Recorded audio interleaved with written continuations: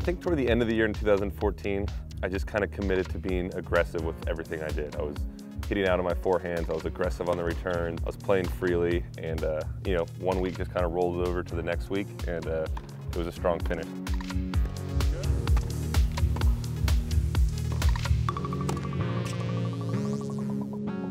I think a lot of it is committing to what you want to do. And, and for me, I want to be aggressive all the time. I want to be aggressive with my forehand. I want to be aggressive with the return.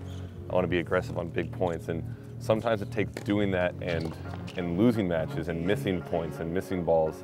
But you're doing it, you're doing the right things. And once, you know, sometimes it could just be one match where all that clicks and, uh, and then you can just kind of build the confidence and one match turns into two and you can kind of keep going. I think the fact that everyone kind of starts January 1st, it's kind of like you're all in it together. You're all you're all on an even playing field. You're all ranked the same, and and it's kind of uh, you know like all right, let's go. Let's see who can start off the best and be be ranked the highest. And the best part about tennis, I think, compared to other sports, is every week it's almost like that. You could lose first round of 10 tournaments in a row, and you've got a fresh start the next week, and you could you can win that tournament, and, and all of a sudden you're on your way. You're, you've got a great year.